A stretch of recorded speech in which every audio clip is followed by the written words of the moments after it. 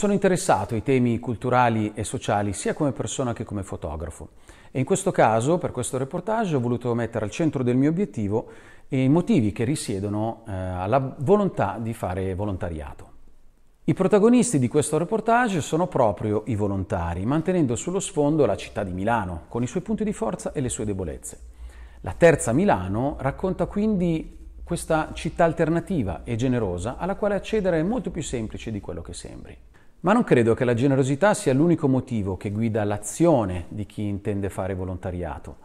E non credo che neanche esista una ragione unica che muove le persone a voler aiutare gli altri. Però credo in uno scambio reciproco tra chi opera il volontariato e chi lo riceve. Per questo ho voluto creare un reportage fatto di immagini che raccontano la giornata di un volontario a partire dalla propria sfera privata fino al momento in cui esercita il proprio ruolo.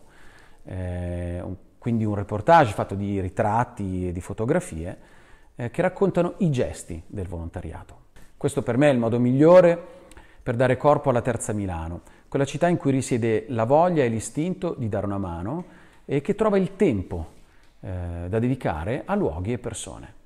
Sono quindi lieto che questa Milano del volontariato vada in mostra attraverso Voce, che vuole essere il vero eh, cuore pulsante dell'impegno civico milanese. E sono contento che la Civil Week Lab eh, dia l'avvio di questo impegno che durerà diversi mesi. Ogni settimana due mie fotografie sulla pagina Facebook di Voce racconteranno le tante forme di impegno e di volontariato che ho avuto la fortuna di fotografare. Partiremo dalla fine, con uno scatto durante le drammatiche settimane del Covid, in cui l'impegno di molti cittadini milanesi è stato la testimonianza dell'amore più profondo verso la nostra città. Un impegno che è valso il titolo di Cavaliere della Repubblica al soggetto di questa prima fotografia.